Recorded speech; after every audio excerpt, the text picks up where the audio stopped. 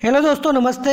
दोस्तों, इस वीडियो में हम बात करने वाले हैं मानसिक योग्यता, यानी कि मेंटलिविटी के महत्वपूर्ण प्रश्नों के बारे में, जो बीएसटीसी और पीटीटी दोनों एग्ज़ाम के दृष्टिकोण से काफ़ी महत्वपूर्ण है। यह मानसिक योग्यता का हमारे चैनल पर फ़र्स्ट वीडियो है। और इस वीडियो में पंद्रह महत्वपूर्ण प्रश्न हैं, जो बार बार एग्ज़ाम में उस टाइप के क्वेश्चन पूछे जाते हैं। और ये पंद्रह क्वेश्चन में से आपको कितने क्वेश्चन आते हैं ये आप कमेंट करके ज़रूर बताना और हर एक क्वेश्चंस को पढ़कर आप वीडियो रोक कर आप खुद से आंसर निकालने का प्रयास करना, फिर ही उसका सॉल्यूशन देखना। तो देखते हैं क्वेश्चन फ़र्स्ट, श्रृंखला में अगले अंक को चिन्हित कीजिए। ये जो श्रृंखला दे रही कि साठ, तीस, एक सौ बीस, पंद्रह, दो सौ चालीस तो यहाँ पर क्या आएगा? यह ज्ञात करना है हमें। तो इसमें क्या लॉजिक लगेगा? देखिए, इस श्रृंखला को ध्यान से देखें। तो साठ साठ के बाद तीस साठ का जस्ट आधा, तीस के बाद फिर एक सौ बीस। बढ़ गया। एक सौ बीस के बाद फिर घटा पंद्रह, फिर एक, दो सौ चालीस। मतलब एक बार घट रहा है और एक बार बढ़ रही है श्रृंखला। तो इसमें अल्टरनेट श्रृंखला है कहीं ना कहीं।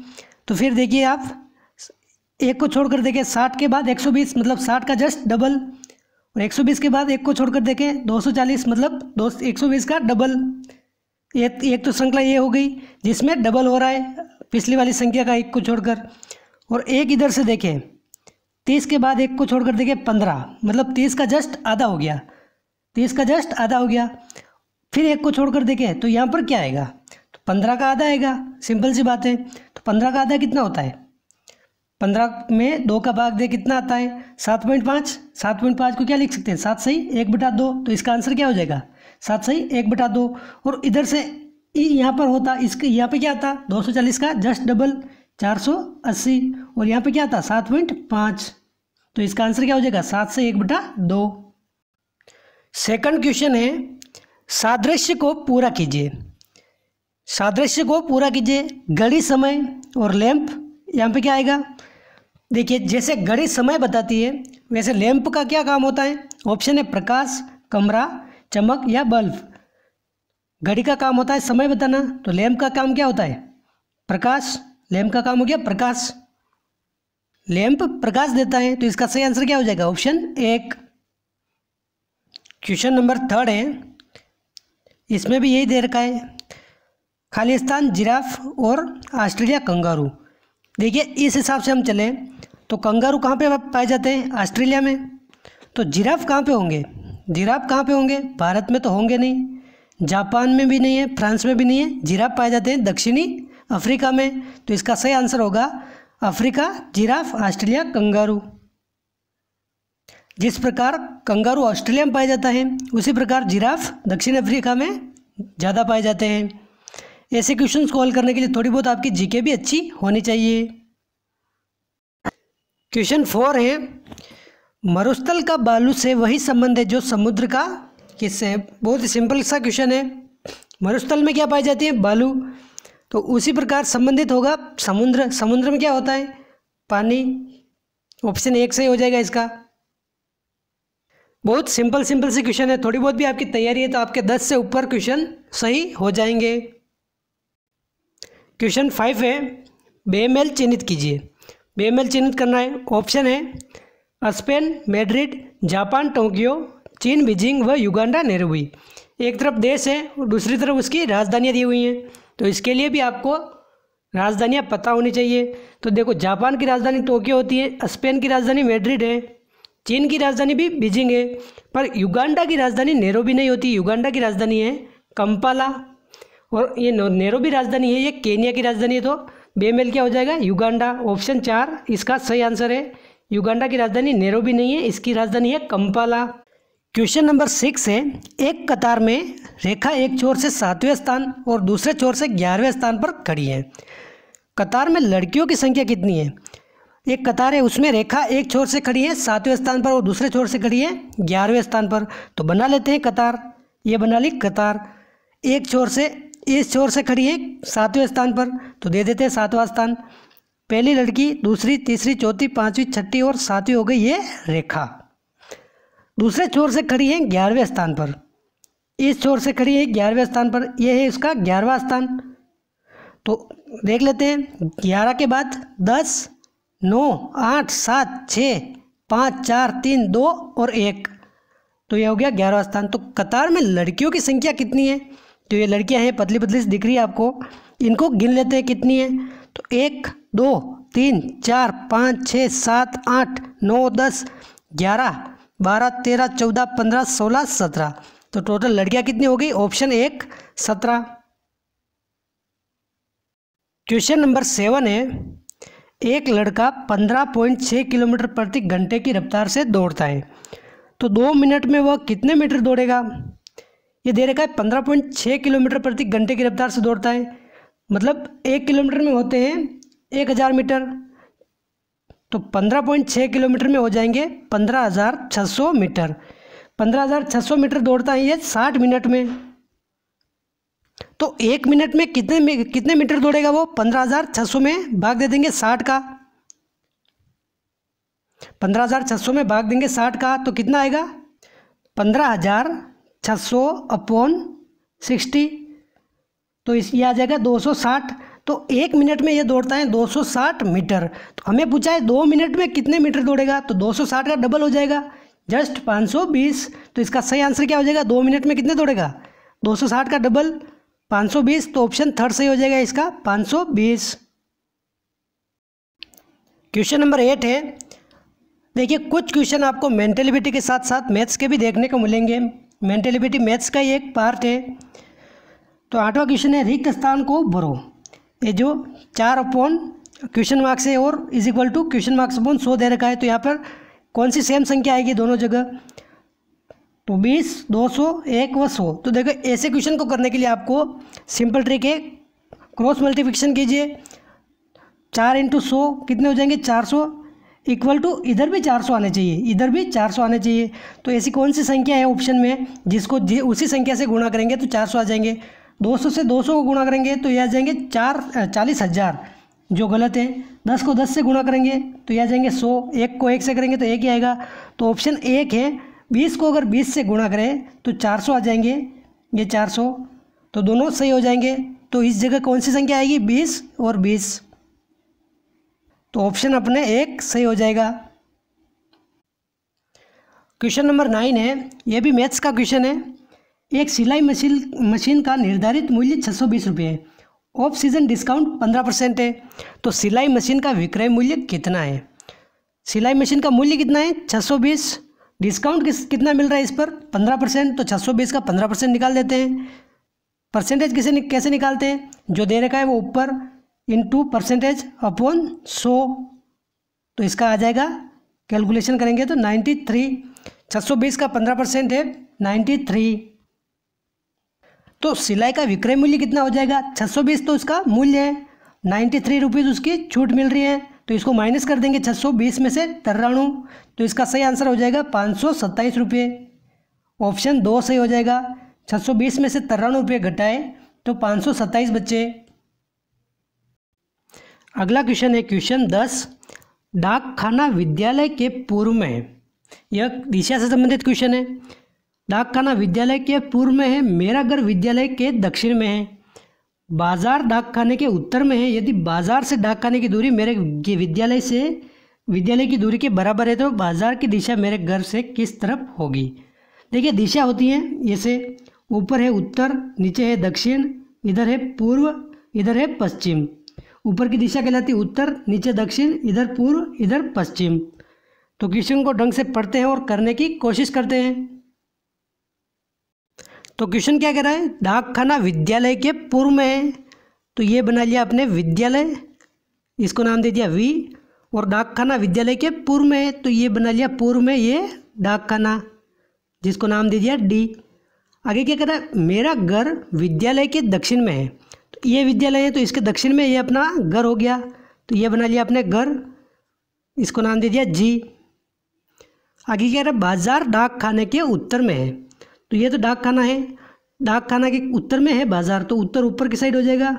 ये हो गया बाज़ार इसको नाम दे दिया बी यदि बाज़ार से डाक खाने की दूरी मेरे घर से विद्यालय की दूरी के बराबर है मतलब ये कहना चाह रहा है, ये दूरी और ये दूरी दोनों बराबर है विद्यालय से घर की और बाज़ार से डाक खाने की तो बाज़ार की दिशा मेरे घर से किस तरफ़ होगी? ये है अपना घर, ये है बाज़ार। तो जैसा कि देख देख रहे हो चित्र में आप ये दिशा होगी ये से क्रॉस होगी ये। तो इस क्रॉस दिशा को किस नाम से जानते हैं? जैसा कि मैंने आपको बताया था, ऊपर उत्तर होती है, नीचे दक्षिण, इधर पूर्व, इधर पश्चिम। तो ये क्रॉस दिशा है। ये दिशा क्या है? न तो उत्तर है, न पूर्व है। ये हो जाएगी उत्तर पूर्व। तो इसका सही आंसर क्या हो जाएगा? ऑप्शन थर्ड उत्तर पूर्व। तो बाज़ार से घर की दिशा है, उत्तर पूर्व की साइड क्वेश्चन नंबर ग्यारह है, दीपक रवि का भाई है। रेखा अतुल की बहन है, ये रिलेशन संबंधित क्वेश्चन है। दीपक रवि का भाई है, रेखा अतुल की बहन है। रवि रेखा का पुत्र है तो दीपक का रेखा से क्या रिश्ता है? तो ऐसे क्वेश्चंस को हम डायग्राम की सहायता से आराम से कर सकते हैं। जैसे मान लिया, दीपक रवि का भाई है तो ये दीपक, डी, ये आर, रवि, ये दोनों क्या हैं? भाई हैं। ठीक है अब रेखा अतुल की बहन है तो रेखा मान ली आर, ई, ये होगी रेखा, अतुल की बहन है, ये अतुल, ए हो गया, ये हो गया इसकी बहन। आगे क्या दे रखा है? रवि रेखा का पुत्र है। ये जो रवि है, रेखा का पुत्र है तो ये मान लिया इसका पुत्र। तो दीपक का रेखा से क्या रिश्ता है? जैसा कि इसमें दे रखा है, दीपक और रवि दोनों भाई हैं। रवि की माँ होगी रेखा तो दीपक की भी माँ होगी ये रेखा।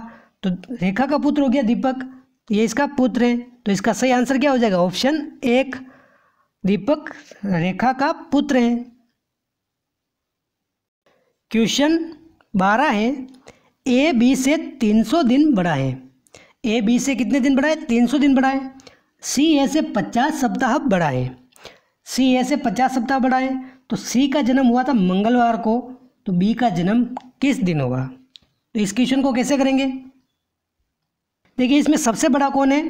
ए, बी से तीन सौ दिन बड़ा है, लेकिन ए से भी पचास सप्ताह बड़ा है सी। तो सबसे बड़ा हो गया सी। और सी का जन्म कब हुआ है? सी का जन्म हुआ है मंगलवार को। देखिए, मान लो अगर आज मंगलवार है तो ठीक सात दिन बाद भी मंगलवार ही होगा। हर सात दिन बाद वही दिन रिपीट होता है। यहाँ दे रखा है सी, ए से पचास सप्ताह बड़ा है। तो सी का जन्म हुआ है मंगलवार को।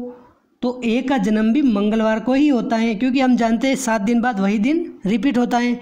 लेकिन यहाँ दे रखा है ए का जन्म नहीं पूछा, यहाँ बी का जन्म पूछा है, और यहाँ दे रखा है ए बी से तीन सौ दिन बड़ा है। तो तीन सौ में हम सात का भाग दे के देख देख लेते हैं। तो इसमें भाग देने पर आता है, बयालीस सप्ताह तो पूरे पूरे आएँगे, और छः दिन शेष बच जाएँगे। तीन सौ में अगर सात का भाग दे तो बयालीस सप्ताह तो पूरे आ जाएँगे, और ऊपर छः दिन बच जाएँगे। तो बयालीस सप्ताह तक तो हो जाएगा मंगलवार, और बाद में मंगलवार से छः दिन आप गिन लो तो बी का जन्म आ जाएगा। तो मंगलवार से छः दिन गिनते हैं हम तो बुध, गुरु, शुक्र, शनि, रवि और सोम। तो बी का जन्म हुआ है सोमवार को। इस प्रकार इस क्वेश्चन को हम आसानी से कर सकते हैं। छः दिन हम नहीं गिने मंगलवार से तो भी आप मंगलवार से एक दिन कम कर सकते हो। मंगलवार के जस्ट पहले कौन सा वार आता है? सोमवार आता है। तो बी का जन्म होगा सोमवार को। क्वेश्चन तेरह है, बेमेल चिन्हित कीजिए। चार ऑप्शन में से बेमेल छाटना है हमें। ऑप्शन है निवेशक, उद्यमी, भूस्वामी और विददाता तो इसमें बेमेल क्या होगा?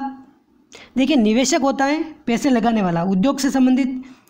उद्यमी भी है, उद्योग के संबंधित। और विददाता जो उद्योग करता है, उसके बाद टैक्स जमा कराता है, उसको विददाता कहते हैं। तो सबसे अलग हो जाएगा भूस्वामी, जो उद्योग से संबंधित नहीं है, बाकी तीनों उद्यम से संबंधित हैं। क्वेश्चन चौदह है, मैथ से संबंधित। एक स्कूटर और एक मोपेड का मूल्य नौ अनुपात पाँच है। यदि स्कूटर का मूल्य मोपेड से छः हज़ार आठ सौ अधिक है तो स्कूटर का मूल्य ज्ञात कीजिए। देखिए, इनके मूल्य का अनुपात क्या है? नौ अनुपात पाँच है। दोनों के बीच अंतर कितना है? चार। मतलब स्कूटर का अनुपात मोपेट के अनुपात से चार अधिक है। इसका अनुपात नौ है तो मोपेट का अनुपात पाँच है। क्वेश्चन में दे रखा है स्कूटर का मूल्य मोपेट से छः हज़ार आठ सौ अधिक है। मतलब इधर तो चार अनुपात अधिक है, और मूल्य में देखें तो छः हज़ार आठ सौ रुपये अधिक है। तो चार अनुपात बराबर कितना हो गया? छः हज़ार आठ सौ। और एक अनुपात का मतलब कितना हो जाएगा? चार अनुपात तो छः हज़ार आठ सौ है तो एक अनुपात कितना हो जाएगा? छः हज़ार आठ सौ में चार का भाग देंगे तो कितना आ जाएगा? एक अनुपात इज़ इक्वल टू सत्रह सौ रुपये। लेकिन क्वेश्चन में क्या पूछा है? स्कूटर का मूल्य पूछा है। क्वेश्चन में स्कूटर का मूल्य पूछा है तो स्कूटर का मूल्य कितना है? नौ अनुपात है। और मोपेड का मूल्य कितना है? पाँच अनुपात। तो नौ को गुणा कर लेंगे हम सत्रह सौ से, क्योंकि एक अनुपात का मतलब सत्रह सौ है। तो नौ अनुपात का मतलब कितना हो जाएगा? नौ इंटू सत्रह सौ। तो नौ का गुणा करेंगे सत्रह सौ से तो इसका आंसर कितना आ जाएगा? पंद्रह हज़ार तीन सौ। पंद्रह हज़ार तीन सौ रुपये स्कूटर का मूल्य हो गया। और अगर मोपेड का मूल्य ज्ञात करना हो आपको तो पाँच से गुणा कीजिए आप सत्रह सौ को तो मोपेड का मूल्य आ जाएगा। क्वेश्चन पंद्रह है बेमेल छाटिए बेमेल छाटना है, ऑप्शन है तेरह एक सौ छप्पन, सेकेंड है बारह एक सौ चौवालीस, थर्ड है पंद्रह एक सौ अस्सी, और फोर्थ है सोलह एक सौ छिहत्तर। तो क्या ऑप्शन आंसर होगा इसका? दिमाग लगाइए आप। देखिए, ऑप्शन दो देखिए, बारह एक सौ चौवालीस। बारह का एक्सवायर एक सौ चौवालीस होता है। बारह इंटू बारह करते हैं तो एक सौ चौवालीस आता है। ये तो इसका सीधा सीधा एक्सवायर हो गया। बाकी ऑप्शन भी एक्सवायर है क्या? तो देखिए फ़र्स्ट ऑप्शन देखिए आप। तेरह, एक सौ छप्पन। तेरह को तेरह से गुणा करें तो आता है वन सिक्सटी नाइन लेकिन यहाँ पर तो है एक सौ छप्पन। तो बाकी ऑप्शन तो एक्सवायर है नहीं। तो वन फिफ्टी सिक्स कैसे आ रहे हैं? तो तेरह को किस संख्या से गुणा किया होगा? तो वन फिफ्टी सिक्स आ रहे हैं। तो आप देख लीजिए, इसको डिवाइड करके तेरह से तो ये तेरह इंटू बारह किया है? तो एक सौ छप्पन आ रहे हैं। तो फ़र्स्ट ऑप्शन भी तेरह इंटू बारह सेकंड बारह इंटू बारह, और थर्ड है पंद्रह एक सौ अस्सी। तो एक सौ अस्सी कैसे आए होंगे? पंद्रह को किस संख्या से गुणा किया है? इसमें भी डिवाइड करके आप देख लीजिए। तो ये भी पंद्रह इंटू बारह, एक सौ अस्सी। तो फ़र्स्ट वाले तीनों ऑप्शन तेरह इंटू बारह बारह इंटू बारह, पंद्रह इंटू बारह। तो ये संख्या आ रही आगे वाली।